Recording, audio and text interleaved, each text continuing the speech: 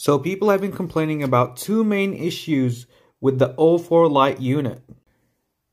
And that's that the antenna connector, which is the UFL connector right here, tears up easily, as well as the camera connector right here. And to prevent this issue from happening, we're going to use the E6000 glue. Remove the canopy to reveal the board.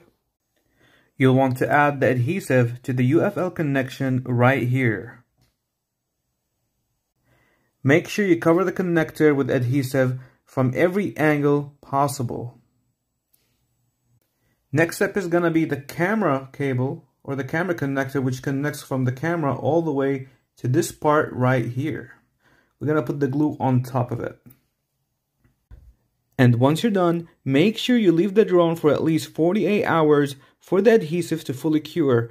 Do not worry, the adhesive does not cause a short circuit to the motherboard. Everything should work perfectly fine. Enjoy flying.